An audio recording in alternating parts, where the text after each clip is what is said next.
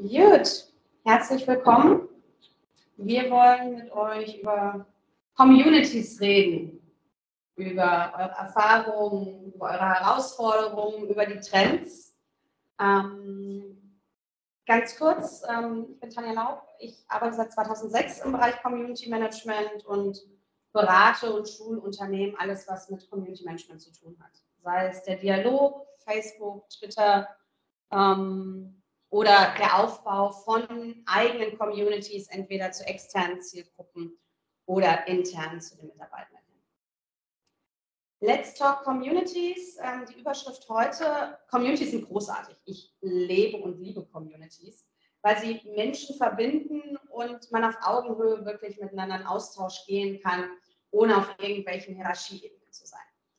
Ähm, und die fördern den Wissensaustausch, die fördern Innovation. Und durch die Pandemie, das ganze Schlechte, was sie uns gebracht hat, ähm, sie hat den Vorteil für uns, dass sie die Entwicklung, die schon länger absehbar war, irgendwie so 20 Jahre nach vorne gespurt hat. Das Thema Communities ist jetzt viel präsenter, der Austausch. Ähm, und Fragen, die ich immer wieder kriege, sind so Sachen wie, ja, hier Nutzeraktivierung, wie kriegen wir denn die Leute aktiviert? Oder aber auch, ja, wir würden gerne Community, aber wie rechtfertigen wir denn die Ressourcen? Wie können wir sichtbar machen, was eine Community bringt, welche Vorteile es hat, welche Potenziale Communities haben? Denn man kann das Ganze nicht einfach in einem Excel-Sheet abbilden. Und das sind die Dinge, über die wir drei heute gerne mit euch sprechen werden. Was sind eure Erlebnisse? Was sind eure Erfahrungen? Wo seht ihr Trends? Wo sind die Herausforderungen? Und ich gebe jetzt ab an meine beiden Co-Teilgebenden, ähm, Achim und Katharina. Hi, genau. Ich spreche jetzt mal in den Würfel. Katharina Robert von der GIZ. Ähm, äh, ich bin auch heute wieder mit einem digitalen Zwilling da, nämlich die Lydia, die seht ihr online. Ähm, äh, die äh, die wird uns äh, online so ein bisschen unter, unterstützen.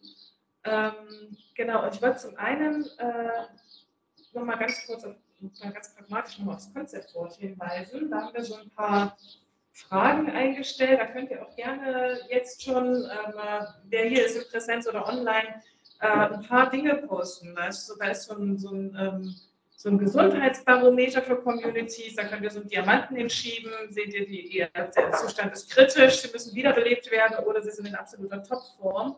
Und dann so ein paar Punkte, was sind so die spannendsten Entwicklungen, negative Trends, die ihr erlebt oder was meint ihr, wo die Cops in so fünf Jahren stehen. So gedacht, statt einem Check-in, weil wir doch eine relativ große Runde sind, das, ne, da kann nicht jeder irgendwie so sagen, wenn ich hier, was bewegt mich, ähm, äh, können wir das über das Konzeptwort so machen. Danke fürs Teilen. Genau, und ähm, äh, ja, und äh, was mich so umtreibt, ähm, ist, ähm, äh, ähm, ich, ja, es gibt, gibt, schon lange diese Gartenmetapher ne, in den Communities und die bewegt mich auch nach wie vor. Also wie schaffen wir es, äh, ähm, also wir, wir, erleben bei uns im Unternehmen, die Graswurzel-Communities sind, sind, total lebendig, es gibt aber teilweise auch einen ziemlichen Wildwuchs, da passiert alles Mögliche und irgendwann irgendwie auch nicht mehr und vieles Gute wird nicht so richtig aufgegriffen. Und dann haben wir aber auch so die, ne, so die Gärten von Versailles, die völlig overengineerten, ähm, zurechtgestutzten Bäumchen, die mit wahnsinnig viel Budget hinterlegt sind und ganz viel Unternehmensaufwand ähm, betrieben werden, sehen total toll aus. Die haben immer die schönsten Seiten irgendwie auf dem SharePoint, aber es ist einfach tot. Es kann, da ist kein Vögelchen mehr, was sich da irgendwie bewegt, ne? oder auch kein Regenbogen mehr in der Erde. Ähm, und wie schafft man irgendwie da eine gute Balance hinzukriegen? So die Frage, mit der ich heute hier bin. Ähm, genau.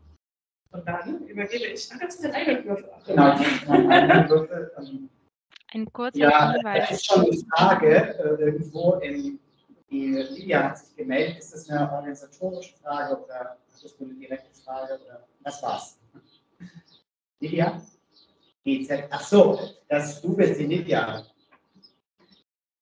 Man hört dich gerade nicht, Lydia. Du hast dein Mikro stumm geschaltet. Danke. Bitte in den Mikro ein bisschen näher halten, weil ansonsten hören wir euch ganz schlecht hier im äh, digitalen Raum. Das wurde mir auch gerade schon gesagt. Also wenn wir nachher würfeln, wir wollen ja eigentlich eine interaktive Session haben. Ähm, man soll nicht so ewig klein sprechen, das ist wohl auch schlecht, äh, aber so äh, relativ nah äh, reinstellen. Genau. Ähm, aber danke dir ja nochmal für den Hinweis. Ähm, ich bin Achim, ich bin von Mercedes-Benz und wir hatten ja alle, warum machen wir jetzt eigentlich diese Vorstellung? Wir wollen das jetzt hier nicht bequasseln, aber wir wollen zumindest, dass wir wissen, mit wem es hier zu tun Frage. Ähm, äh, deswegen haben wir gesagt, äh, stellen wir uns dies vor und sagen, was sind eigentlich bei uns die Fragen, die uns gerade so beschäftigen. Und dann äh, seid ihr dran. Ja, also, ähm, also keine Angst, es wird jetzt nicht mehr lange dauern. Also meine Frage wäre eigentlich, ja, Communities wurden bei uns mit großem Tamtam und viel Motivation es sind echt Menschen dabei, die sehr engagiert sind, die wurden eingeführt. Und wie ähm, halten wir das eigentlich am Leben, wenn sich die Rahmenbedingungen so total ändern, die sich gerade geändert haben? Ja? Ähm, konkret ist es eigentlich, wir haben vor ähm, ja, fünf Jahren so Internet eingeführt und haben da auch sehr viel ähm, reingebuttert. Ähm, da waren die, äh, die Rahmenbedingungen einfach auch von oben sehr, sehr gut. Wir haben ähm, Veranstaltungen gemacht, wir haben Multiplikatoren gehabt und da waren sehr viele Leute dabei, die eben sehr stark engagiert haben und die haben sich teilweise zum ersten Mal getroffen. Dann hat man gesehen, Wert von Communities, sich gegenseitig zu motivieren, wirklich sich auch zu entscheiden mit Dingen, die man sonst nicht äh, im Alltag macht ähm, und da dem Unternehmen auch was zurückzugeben, mit was, was eigentlich im eigenen Bereich gar nicht so geschätzt wird, ne? misstrauisch angeguckt wird. Und äh, jetzt vor zwei Jahren, ja, änderte sich das dann halt mehr oder weniger alles. Wir haben jetzt eine andere, klare strategische Ausrichtung. Ähm, alle diese Programme sind gestrichen und die, das Social Internet und die Community sind mehr oder weniger in der Linie. Und äh, es sind immer noch motivierte Leute da. Aber was, ähm, wo können die sich einbringen? Und äh, wir versuchen es gerade wieder so ein Stück weit aufnehmen zu lassen. Dann merkt man, ja, die, die wollen immer noch. Und, ähm, aber ja, wo, was können wir denen eigentlich bieten? Auch ich jetzt aus der, aus der Unternehmenskommunikation ja eigentlich noch die Community Manager hier vernetzt und äh, sie qualifiziert. Aber ja, als einzige Person, wo das vorher acht waren, da sind meine Mittel halt auch irgendwo begrenzt. Und das ist die Frage, die mich gerade so umtreibt. Ähm, und es gibt viele Beispiele noch dazu. Aber ähm, ja, Tausch mal bitte den Würfel, weil wohl wir nicht verstanden werden und es schlechter wurde, ob der Würfel besser ist. Okay. Ich bin eigentlich äh, auch äh, dann schon fertig. Also. Ähm, Ist das besser? ist dieser Würfel besser? Nee. Ist auch nicht besser. Okay. Ist es besser, wenn ich den so nah ran tue? Ist auch nicht besser. Der Ton kommt eher vom Laptop. Mikro ist aus. Wir haben alle Mikros aus. Ich habe meinen äh, Laptop auch aus. Laptop, äh, Audio aus. Hat hier noch jemand an? Wir haben aber sonst kein Mikro. Wir haben tatsächlich Also nur das. mich und es klingt, als ist aber mein Mikro ist aus. Das ist ja komisch. und wir sitzen auch alle gleich weit weg vom Lautsprecher und haben alle den gleichen Würfel. ist der Lautsprecher vielleicht das Mikrofon ausgewählt? Der kann ja auch Mikro. Äh, Ja, aber wir dieser haben- Lautsprecher da ist, der ist auf stumm ausgewählt. Und wir haben, ja, und wir haben zur vorherigen Session auch nichts geändert. weil da Okay. Probiert mal jetzt. Äh, ja, ich rede einfach noch mal ein bisschen weiter. Ja, zwei Daumen hoch. Das ist jetzt Community. Was war denn der Erfahrung? Ja, also die Ursache, dieses Mikrofon war eingeschaltet, Ah, die Würfel waren nicht eingeschaltet ah. und ähm, Und du hast uns gerettet. Ich habe eine Vermutung gehabt und die einfach mal probiert. Sehr schön. gemacht. Großartig. Also das ist Community mit unvorhergesehenen Dingen umgehen und äh, sie irgendwie lösen. Irgendjemand kommt immer und findet irgendwas. ähm, genau, also da, also und jetzt äh, wollen wir eigentlich in die Diskussion gehen. Wer ich würde jetzt Lydia einfach mal erklären, weil wir haben ein Concept Board dazu. Ich habe noch, eine- ich hab noch eine Frage. Mhm. Geht es hier nur um Community of Practice oder geht es generell um Communities? Weil der Titel war nicht ganz eindeutig. Ich-. Ich würde sagen, gerne generell. Ich weiß nicht, was das du machen? Ja, aber gerade Katharina, äh, bei dir vermute ich immer, es geht eher um Community of Practice, aber wenn du sagst, es geht um Communities generell, also es gibt ja noch Aktivisten-Communities. Gerne, äh, gerne Es alles. gibt vielleicht auch eher so transaktionsorientierte Communities, also Marktplätze, keine Ahnung, oder Support-Communities. Ähm, es gibt äh, ja, Community of Practice, es gibt noch Kommunikations-Communities, die irgendwelche Initiativen unterstützen. Ich glaube, wir reden ja über alles, was ihr wollt. Ja, also. Wenn ihr Lust habt, kann ich euch mal ein Bild aus der Telekom geben von so ein paar großen Communities. Ähm, das zahlt, glaube ich, so ein bisschen auf euer beider Themen ein. Einmal im Gardening und wo, ne, von dem von bis, wie, wie kriege ich da eine Balance und wenn sich Rahmenbedingungen ändern. Und, und unsere Erfahrung ist, glaube ich, es steht und fällt mit den Menschen. Ja? Ähm, zum Beispiel, wir haben die Telekom-Botschafter-Community, das ist eine Riesen-Community, die werdet ihr kennen, wenn ihr mal Hashtag Werkstolz in Social Media eingibt, dann werdet ihr euch vor Magenta nicht mehr retten können. Ne, das sind beseelte Mitarbeiterinnen und Mitarbeiter der Telekom, die kein Event auslassen, um sozusagen die Telekom zu bewerben. Ne? Das ist deren intrinsische Motivation. Die machen das von sich aus. Das waren die Missionare, oder? Das sind, wenn du so willst, das ist eine Missionars-Community, genau. Dann haben wir ähm, eine Lern, eine große Lerncommunity, nennt sich Lex Learning for Experts, von Shakir Abraham bei uns, die sich gegründet hat ähm, auch auf unserem Enterprise Social Network, weil man gesehen hat, da wollen Menschen aus eigenem Antrieb anderen Menschen was beibringen. Ja, also meine zehn Top Excel Shortcuts oder so, ja, oder wie gehe ich mit Microsoft Teams um. Ja, dann, dann hat der Shakir eine, eine Lernplattform geschaffen, einfach nur auf dem ESN und dann konnte sich jeder selber quasi einladen. Es hat sich ein riesen Lernnetzwerk gebildet. Und das dritte Beispiel ist die CX-Community äh, bei uns. Das, hat, das, das existiert schon sehr lange, seit 2013 oder so. Ähm, Mike Metzig, der Mike hat sich mal gedacht, ähm, als Design Thinking noch neu war, in, der Telekom zumindest, wir brauchen ein Netzwerk von Mitarbeitern, die neben ihrer Arbeitszeit anderen äh, sozusagen Design Thinking Workshops machen. Ne, das hat sich jetzt sehr ausgeweitet. Da gibt es mittlerweile große Transformationsprogramme, die wir auch begleiten. Die, die in der Community drin sind, die können mit 30 Prozent ihrer Arbeitszeit dort in der Community arbeiten. Das haben sie von der Geschäftsführung wow. sicher Ich komme zu euch. genau. So, jetzt kommen die Knackpunkte. Ne? Ähm, wenn der Community, sag ich mal, oder der Host ja, oder der Initiator es versäumt, ähm, sozusagen Leadership auf mehrere zu verteilen. Ja, also der Mike hat es bei den CXern mit, mit Holocracy gemacht. Ja? Also dass man das über ein Holocracy-System in der Kerngruppe, sodass er da Führung verteilt. Ne? Ähm, sozusagen, das sichert ihn, wenn er nicht mehr da ist. Ne? Ähm, sozusagen, dass das andere direkt übernehmen können. Bei Shaquille, ehrlich gesagt, in der Learning Community weiß ich es nicht. Mhm. Ne? Shaquille ist Mr. Lex, wenn der mal weg ist, ich weiß nicht, was da mit Lex passiert. Dann übernimmt es irgendein HR, HRD-Manager, der, der das Mindset nicht hat und das Ding binnen zwei Monaten dauert wahrscheinlich, weil es zu sehr reglementiert wird. Und bei den Botschaftern ist es, glaube ich, auch so. Ja? Wenn da so die zwei, drei TreiberInnen, wenn die gehen sollten, ähm, ist es ist auch in Frage gestellt, was passiert dann damit. Also sprich, mein Platz wäre, übertrage sozusagen das Community Management sehr früh auf mehrere Köpfe. Ne? Mhm. Und ja, an Rahmenbedingungen können wir meistens nichts machen. Ja, also, äh, wenn Mandate wegbrechen für Communities oder so.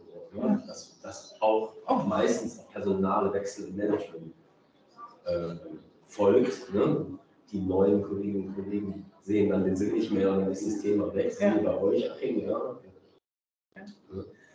Ähm, das ist halt dann, wenn du da schon gut vorgearbeitet hast und du hast diesen, diesen Drive in der Community, dass die es so wichtig finden, das wäre neben dem Thema Leadership, wäre das das Thema Purpose, dass du den frühzeitig mit allen gemeinsam schaffst, um ne, die Leute von sich selbst aus arbeiten zu mhm. lassen mhm. und, und die, die, ne, die, intrinsische Motivation mhm. äh, über Zeit zu retten oder so. Ja, also das, ja. Genau, Ähm, äh, darf ich kurz mal strukturierend ein? oh. also, äh, danke, äh, Jochen. Äh, aber wir haben ja hier auch noch virtuelle Teilnehmerinnen und Teilnehmer im Raum und wir haben äh, dafür ja auch ein Concept Board. Das heißt, wir haben eine halbe Stunde Zeit und ähm, vielleicht einigen wir uns irgendwie drauf, wie wir die, The- die Zeit aufteilen. Also danke für den Einblick. Also Sie sind sicher, äh, also ich sehe dich auch immer tolle Vorbilder, sehr inspirierend. Aber gibt es vielleicht auch noch andere äh, drängende Fragen? Also hier haben einige schon schön im Concept Board das eingestellt. Ähm, ich weiß nicht, wie wir vorgehen. Sollen wir jetzt einfach mal hier durchgehen und diejenigen, die was eingestellt haben, sagen lassen, was ihre Fragen sind? Vielleicht entdecken wir dann auch Gemeinsamkeiten. Wir sollten dann halt, wir können abstimmen oder sonst irgendwas. Ich weiß nicht, die Zeit ist wahrscheinlich relativ kurz, aber dass wir uns vielleicht auf ein Thema einigen, und zwar nicht bevor alle mal kurz ausgespeichert haben, was sie so bewegt. Also das wäre vielleicht wichtig. Wollte Lydia das nicht gesammelt vorstellen? Ich würde einfach sagen, lass doch mal, ähm, ne, wenn wir jetzt noch eine halbe Stunde haben, vielleicht mal in, in, in den Raum gucken und in den virtuellen Raum auch. Ähm, äh, ein paar Sachen stehen jetzt schon auf dem Concept Board, glaube ich, auf die man ganz gut drauf gucken kann. Ähm, und ihr habt bestimmt auch noch ganz viele Sachen in den Köpfen. Ne? Was sind denn so die Fragen, die drängen? Und dann bei Let's Talk Communities, also wo geht's hin? Geht's nach oben, geht's nach unten, geht's zur Seite?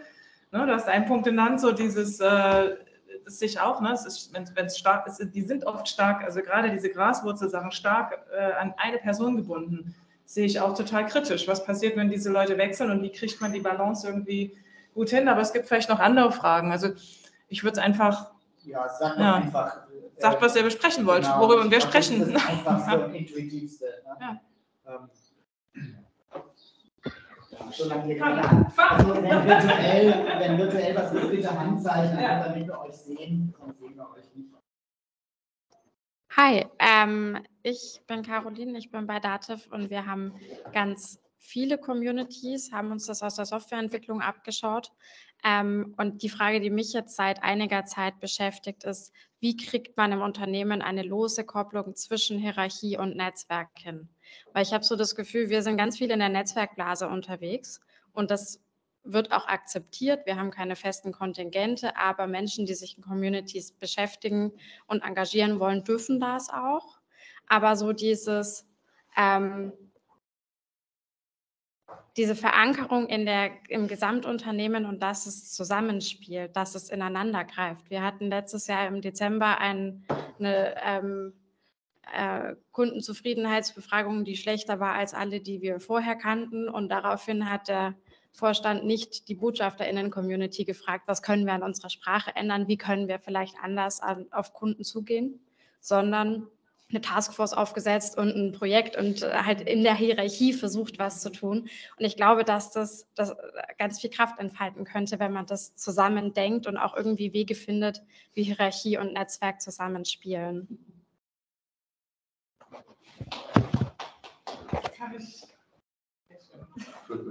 Also da gibt es eine Barcamp-Regel und rede über Barcamps.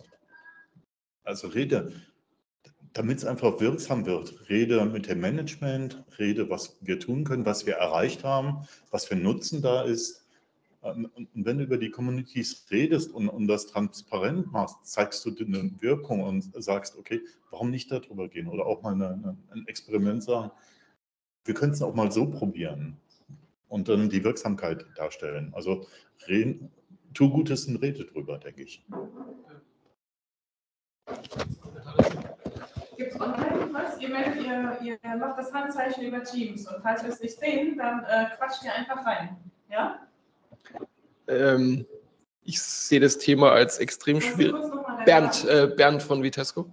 Äh, Vitesco Technologies von früher Continental, jetzt seit einem Jahr nicht mehr. Ähm, diese Frage dieses Abgebens von Kompetenz, weil es ist ja Abgeben der Kompetenz äh, auf eine gewisse Art und Weise, was du jetzt beschrieben hast, ist der große Kampf der Communities, der vermutlich bestehen bleiben wird, bis die Organisation sich dazu entschließt, das in ihre komplette Organisation zu integrieren. Solange es hierarchische Strukturen gibt, werden diese hierarchischen Strukturen weiterhin die, äh, das als ihre Aufgabe ansehen, solche problematischen Themen zu bearbeiten, weil da nicht auch Karrieren dran hängen, ähm, die ja jemand machen möchte und solche Themen natürlich gut sind für die Karriere. Ähm, das heißt, es wird dann niemand einfach, einfach so weggeben, wenn es keine guten Gründe dafür gibt. Also diesen Clash der zwischen den Communities und dem Management, ich meine, kann da auch ein paar Geschichten erzählen, aber die, diese Situationen, die ist vorhergesagt ähm, vom Dr. Kruse, braucht man sich nur alle seine Videos anschauen, äh, dann kann man sich das alles zusammenreimen, was da passieren wird. Also das ist eine größere gesellschaftliche Umverwerfung, die da stattfinden muss, dass das irgendwann akzeptiert wird. Also das wird Jahrzehnte noch brauchen, meiner Meinung nach. Ich möchte jetzt da keinen Essig in den Wein kippen, aber Entschuldigung. Diese, diese Veränderung der Akzeptanz, äh, die Veränderung der Akzeptanz des Managements bezüglich der Communities oder der Aufgabenabgabe des Managements, weil im Prinzip ist es nichts anderes. Die, die Communities übernehmen Aufgaben, die bis jetzt vom Management wahrgenommen werden. Das heißt, du musst das, das die Management-Verständnis, äh, die Kultur des Managements verändern. Und wir wissen, wie lange das dauern kann, ja, bis sowas passiert. Mhm. Ähm, und das ist das Grundproblem, an dem wir da stecken. Ich habe noch eine zusätzliche Hypothese. Äh, das haben wir bei uns gesehen. Also wir haben sehr, ähm, wir haben sehr etablierte Fachcommunities äh, seit den, seit den 90er Jahren, glaube ich schon, die inzwischen auch mit Mitteln ausgestattet sind. Jedes Projekt äh, Energie, was umgesetzt wird, hat einen bestimmten Prozentsatz, der für die, für die Fachcommunity aufgewendet wird und so weiter.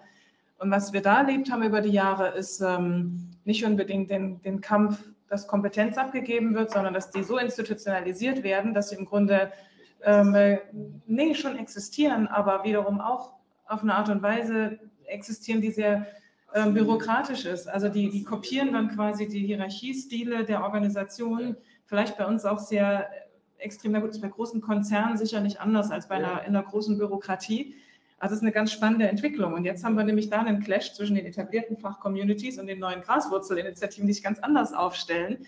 Ähm, äh, und dieses Absorbieren oder das Imitieren von den Handlungsweisen, denken wir, ja, so richtig die Lösung ist das auch nicht. Jetzt haben wir Communities, die auch wieder wie Abteilungen funktionieren und die versuchen sich jetzt wieder daraus zu lösen und neue Energie zu stiften. Ich finde das spannende Entwicklungen.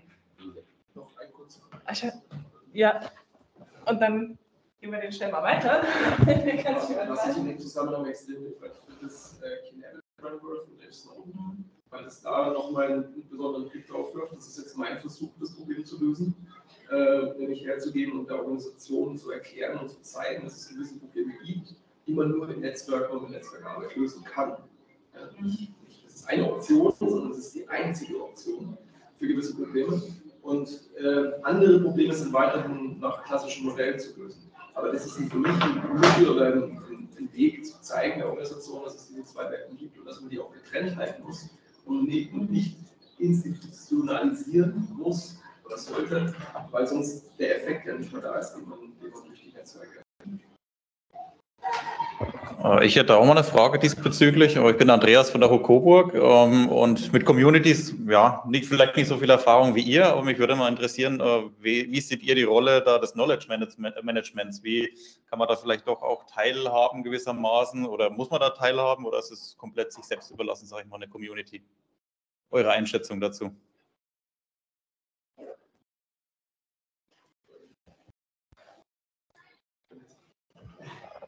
Ja, also gibt sogar Communities, die speziell den Zweck oder anwendungsfreien Knowledge Management haben, also irgendwie das vielleicht um Wiki herum organisieren.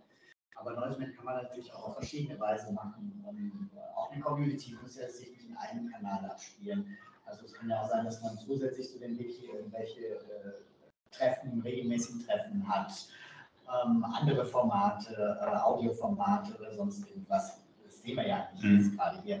Also was genau war jetzt nochmal deine Frage? Also, Genau, hier nochmal den Würfel. Also ja. ich sag mal, da fließt ja auch viel Wissen etc. Ähm, und jetzt aus Knowledge Management Sicht will ich natürlich äh, Wissen irgendwie ja, sichtbar machen, greifbar machen, erfassen. Also wie seht ihr da die Rolle des Knowledge äh, Managers? Stefan, du hast noch einen Vorschlag? Ja. Ich kann auch mal was dazu sagen. Ähm, also bei uns zum Beispiel äh, bei Continental ist es so, dass das Thema Community Management gerade von zwei Seiten, ich sag mal, auch vom Management her gewollt angegangen wird. Und das ist einmal bei uns bei Group IT und einmal tatsächlich ähm, zum Teil bei Knowledge Management. weil dort auch erkannt wurde, da wird, dass Communities ein, oder vielleicht sogar das Instrument in Anführungszeichen sind, um Wissen gemeinsam aufzubauen und transparent zur Verfügung zu stellen, weil wir zum Beispiel da auch bei uns sind äh, viele Communities, ähm, wird das Wiki ganz stark genutzt, um ja genau und von dem her ist es, find, sehe ich so, oder bei uns ist es so, dass Communities ganz zentral sind für den Bereich Knowledge Management, aber halt dann oder in dem Sinne, dass eben die Transparenz dadurch erhöht wird und man eben wegkommt von nur in Teams oder nur in Silos mhm. etwas zu machen und zu erstellen. Warum so ein bisschen online, ob es da was gibt? Einfach keine Handzeichen. Äh, also, ja. Ja, also dann, die Online-Welt meldet sich auch. also ich bin äh, Felix von, von SAP und äh, ich hätte eigentlich jetzt äh, drei Punkte. Also das, der erste wäre jetzt äh, ein Anliegen. Ähm, ich finde es total spannend, die Diskussion, die wir heute haben. Und ich denke, da ich auch äh, das Thema Community Management für ein Sportbereich verantworte, würde ich das gerne weiterführen. Also gibt es schon ein bestehendes Netzwerk, wo sich Community Manager, die jetzt so größere Community-Programme orchestrieren, austauschen. Dann das zweite, die Frage zum Knowledge Management. Da kann ich jetzt aus SAP-Sicht äh, kurz beleuchten. Da gibt es äh, gerade in der Beratung und bei Pre-Sales und Sales schon seit vielen Jahren, haben eigentlich die Community hauptsächlich auch diesen Auftrag, äh, den Wissensaustausch äh, zu bestimmten Industrien oder zu bestimmten Themen voranzutreiben über die Org-Struktur hinweg. Also das ist sehr eng verknüpft und ist teilweise auch sogar verbunden mit Leuten, die jetzt für das Thema Knowledge Management dann bei SAP ver verbunden sind. Oh, verantwortlich sind, sorry. Und dann das dritte war vielleicht noch ein positives Signal zu geben, was jetzt äh, Community Management oder die Zukunft von Community of Practices betrifft. Also da hat jetzt ähm, auch unser Vorstand entschieden, dass das Thema Lernen äh, wirklich zentral ist für unsere Transformation und auch entsprechend investiert wird, auch in einer Zeit, wo jetzt äh, eigentlich sonst alle Budgets ziemlich gekürzt werden.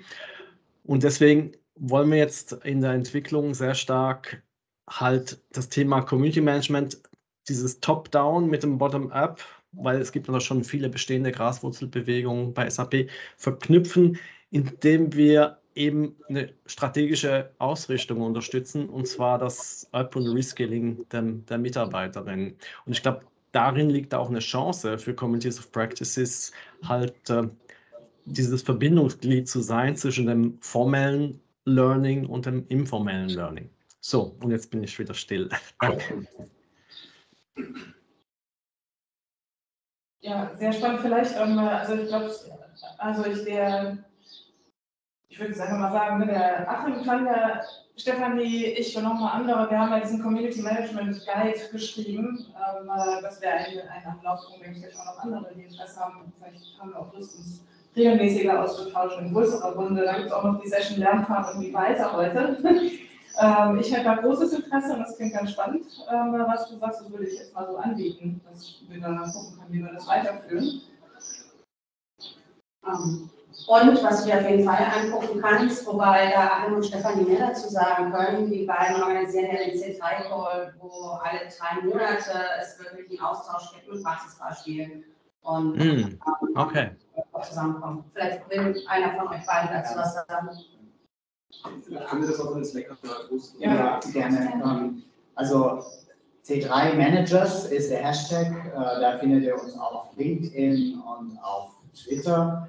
Und äh, die nächste Veranstaltung ist am 21. Donnerstag, nicht 21. Ja, 21. Juli, 16 äh, Uhr. Also findet Quartals, Quartalsturnus statt und bietet auch immer die Möglichkeit zum Austausch und sich zum Vernetzen.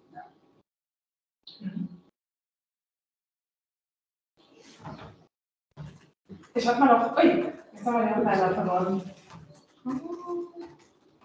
Ihr seid noch da. Wir sind noch da, dann reden wir weiter. Die sehen uns nicht mehr, aber ihr seht uns. Ähm, das ist auch viel wichtiger. Ähm, genau. Nur noch mal auch zu deinem Punkt, ne? Knowledge Management und äh, Communities.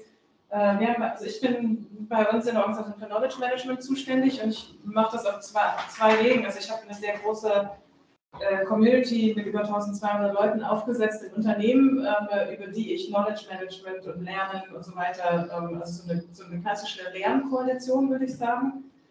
Und bei uns ist aber, also das ist ein integraler Teil, also wir, wir verstehen unsere Rolle im Wissensmanagement viel stärker in Bezug auf äh, Gewährleistung interner Vernetzung für Innovation oder zur Ermöglichung von Innovationen und so weiter ähm, und zur Ermöglichung von Vernetzung auch als Wert an sich.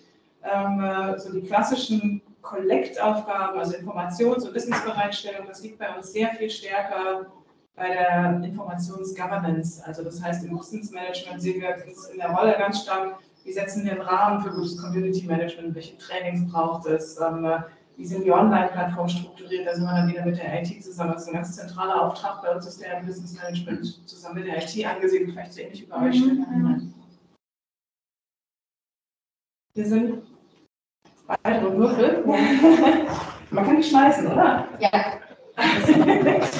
ähm, mich würde interessieren, wie ihr mit dem Trend, also ich kann nur von uns sprechen, Jochen, ähm, wir haben jetzt den, den Trend, den rückläufigen Trend von einem Tool, das Communities wirklich unterstützt hat, wie das ESN, ähm, transparent zusammenarbeiten, Coworking, ähm, auch sprecht darüber, äh, was ihr macht, um eben auch Management ähm, zu bekommen, ähm, um die Wichtigkeit und den Nutzen der Communities überhaupt zu sehen und sichtbar zu machen.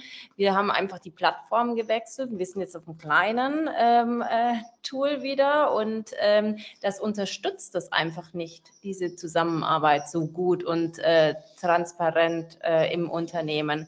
Und äh, unsere Inhalte sind verschwunden. Du musst wirklich ganz gezielt danach suchen. Ähm, du kriegst die nicht mehr, ich sage jetzt mal, automatisch. Also es ist ganz, ganz, ganz schwierig schwierig. Und ähm, die Frage, ist es bei euch auch so? Also merkt ihr diesen Trend und wie geht ihr damit um? Also habt ihr einen Tipp für uns? Kannst du noch mal deinen Namen sagen? Antonia von der Telekom, sorry.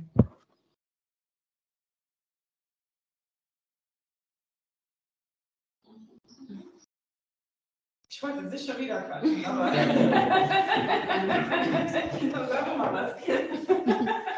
Wir haben gerade eine ganz ähnliche Situation, weil wir ähm, mit unserem Intranet auf eine neue Plattform umgestiegen sind.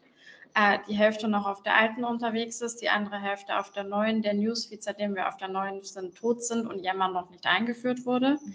Wir hoffen jetzt, dass wir durch die verschiedenen Communities mit der Yammer-Einführung ähm, ich sage jetzt mal so, Welle machen können, dass dieses, ähm, die Plattform besser genutzt wird.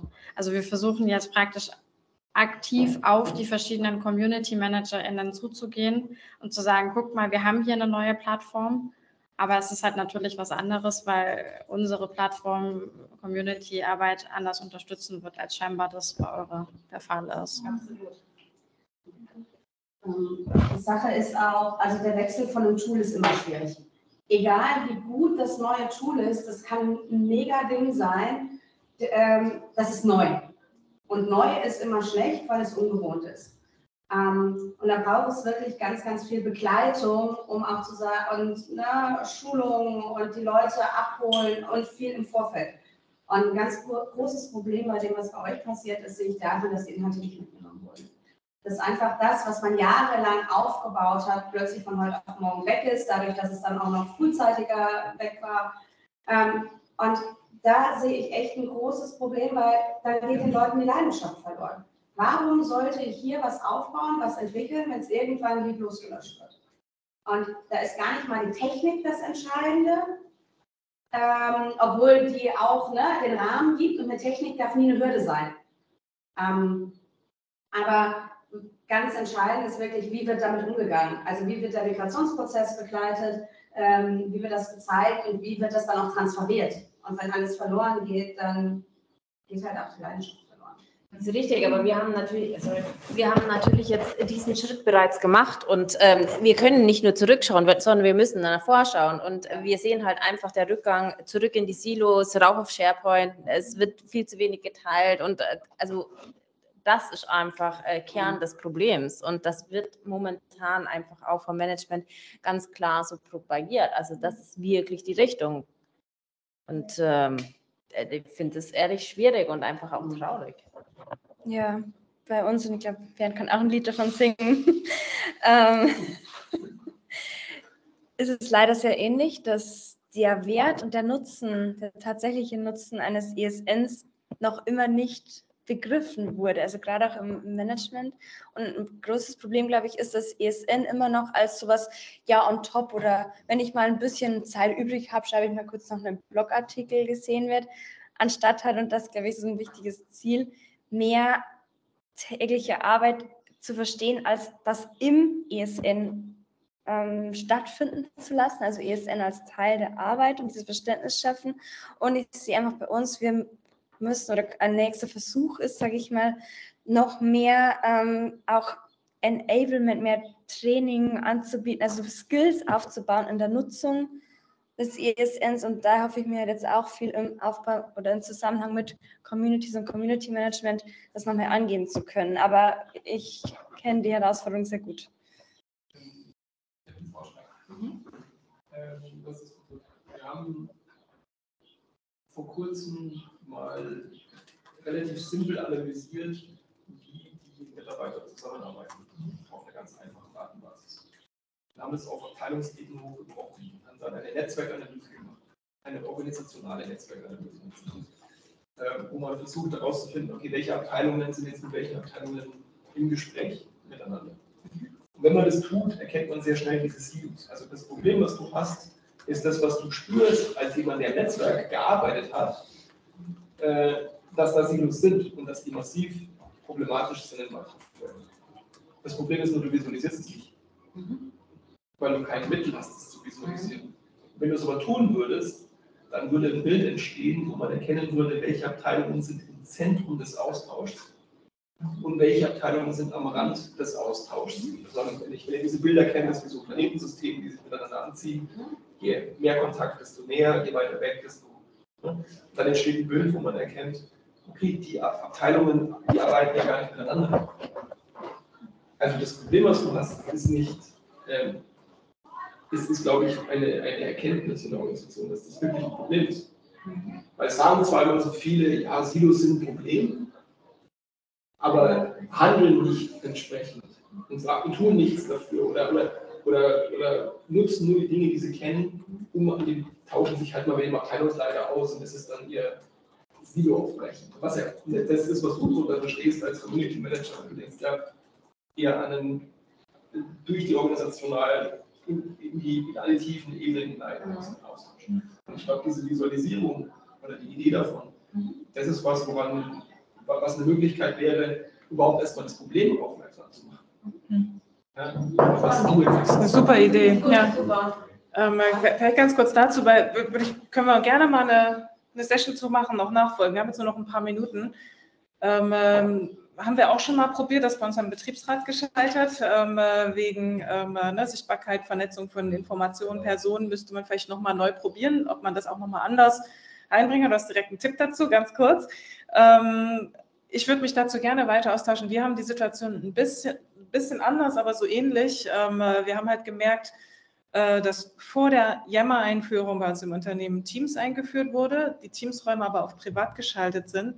Und wir haben in diesen Teamsräumen total lebendiges, brummendes Community-Leben, aber es wird nicht nach außen hin sichtbar. Und ich bin so ein bisschen gespalten, weil in Teilen braucht es auch ein bisschen diesen privaten Raum für Menschen, ähm, weil wir überhaupt zum ersten Mal über Hierarchien hinweg kommunizieren und Leute auch unsicher sind. Ne? Wenn ich jetzt als nationaler Kollege oder Kollegin im Irak oder sonst wo sitze, kann ich das? Weil wir doch sehr hierarchisch geprägt sind als Organisation.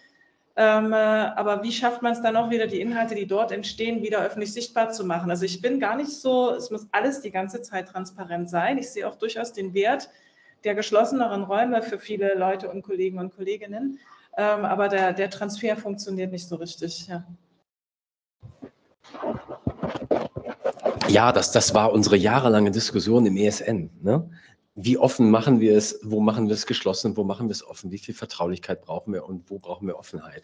Das Prinzip deshalb ist ESN kein Tool wie jedes andere, weil, weil ESN ist per se ein kulturell offenes Tool. Ne? Das heißt, jeder kann auf, auf, auf Communities und Menschen aufmerksam werden und beitreten. Das ist halt gerade für, für, für Grassroots-Geschichten ist das natürlich geeignet.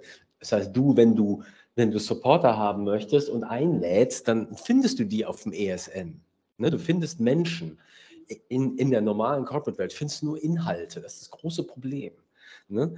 Und ein ESN war für mich immer der große, ich habe es gestern genannt, große Kulturwandler, ja, weil, weil du Menschen fandest. Und, und äh, auch für, für fachliche Communities. Ne? Denn, denn dann merkst du überhaupt erstmal, dass in den verschiedenen Unternehmensteilen was, was dieselben Dinge gebraucht werden oder gemacht werden und dann schließt du dich mit denen zusammen. Da gibt es eine Marketing-Community, gibt es eine Entwickler-Community oder so. Ne? Und das ist halt das große Problem, dass das jetzt wegfällt. Wir sind um Lichtjahre zurück und Teams hilft null, weil, weil es einfach auf Team, sagen wir mal, auf, auf Teamebene offen ist und Teamarbeit befördert. Fair enough. Nur für bereichsübergreifendes Arbeiten ist das nicht geeignet, aus meiner Sicht. Eine Frage an euch Experten. Wären Communities wichtiger oder unwichtiger?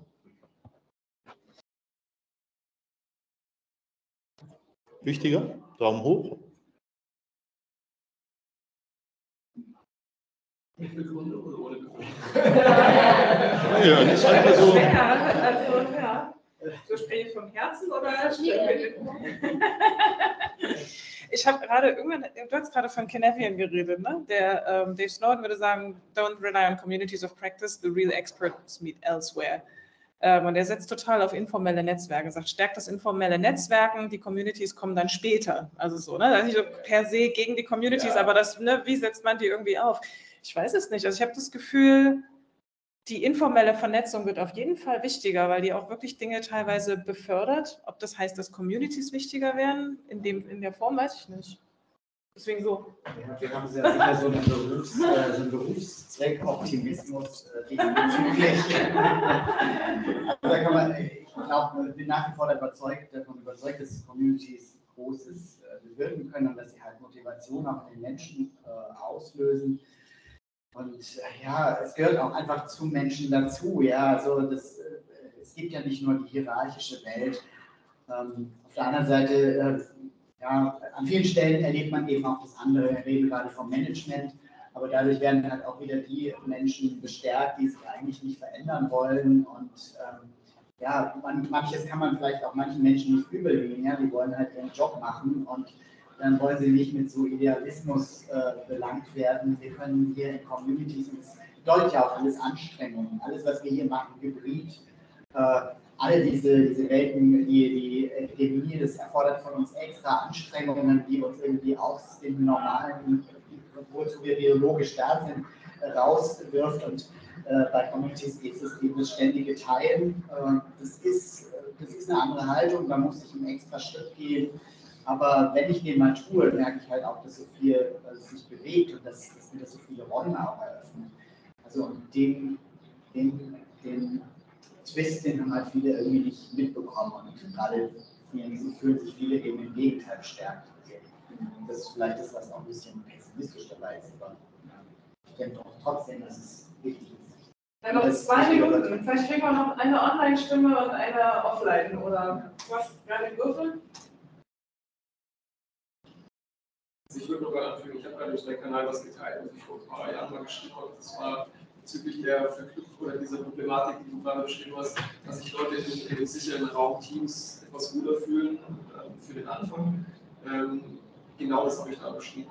Ähm, wo, das herkommt. Wir den ersten Schritt gegangen sind. Wir sind erst in Communities gewesen und dann Teams nachgezogen, ähm, was für die, die vorher in Communities gearbeitet haben, total easy Schritt war aber wir trotzdem festgestellt haben, ganz viele sich immer noch problematisch ist, in Teams überhaupt zu arbeiten. Das hat sich auch in den letzten vier, fünf Jahren nicht groß geändert. Ähm, die, die, also für mich ist wirklich das Canadian Framework zusätzlich zu der Diskussion, wir gerade hatten, der große Gewinn in den letzten zwei Jahren gewesen, muss ich sagen, ähm, weil er mir genau diese, diese Nutzen zeigt, der gegen unterschiedlichen Dinge. Ich sage nicht, wir müssen alles in Communities machen, was auch ein zu großer Aufwand eventuell auch wäre, sich daran, ja, das zu tun. Aber für gewisse Dinge muss man es eben. Das ist das, was ich aus dem Framework rausgezogen habe und deswegen auch so anwende. Und meine Communities auch in Teams habe und in ESN und in verschiedenen Orten eben bestehen.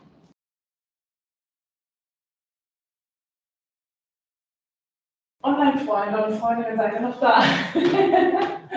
da ist schon viel im Raum gesprochen. Ja, ansonsten eine Punktlandung. Ja. Ähm, also wir haben ein Board, die Lydia hat ja ganz viel mit dokumentiert, was hier für Fragen aufkamen von euch. Äh, lohnt sich wahrscheinlich da im Nachgang nochmal drauf zu gucken. Ähm, Tanja, du hattest ja, glaube ich, du wolltest das nochmal aufbereiten in dem Blogbeitrag. Ne? Also insofern hätten wir vielleicht am Anfang sagen sollen. Jetzt können wir vielleicht noch was reinbuttern, ihr wisst, das kommt, äh, das wird also im Blogbeitrag nochmal aufbereitet. Ja. Und ansonsten, ich würde sagen, wir, wir gucken mal, wenn wir wieder einen Termin haben, wo sich das Community Leitfaden, Management Leitfaden zusammentrifft. Das haue ich jetzt mal spontan in die Runde. Können wir euch gerne zu einladen und einen größeren Austausch machen. Machen wir. kurzen Genau. Wo ihr daran teilnehmen so So machen wir das. Genau, C3-Managers hatte ich schon im Slack geteilt. Ähm, Ja, und da wäre, das hast du was auch, an dem wir letztes Mal erst drüber gesprochen, das Fokus. Das war jetzt das Setup, weil aktuell ist es so, dass wir es auch Barcamp ähnlich haben und es immer ein Praxisbeispiel zu einer bestimmten Community gibt. Aber sowas wäre halt einfach mal, denke ich, auch ein tolles Diskussions- oder Dialogsthema, ähm, wenn wir sehen, okay, wir haben da was, was uns alle ähnlich beschäftigt. Das müssen wir hinkriegen. Genau, deswegen Themenvorschläge Vorschläge vielleicht auch einfach im Slack. Also, sag du das vielleicht nochmal. Ja. Themenvorschläge gerne ins Slack. Tschüss, ihr Lieben. Tschüss und guten Abend. Danke. Ja, Essen. Essen.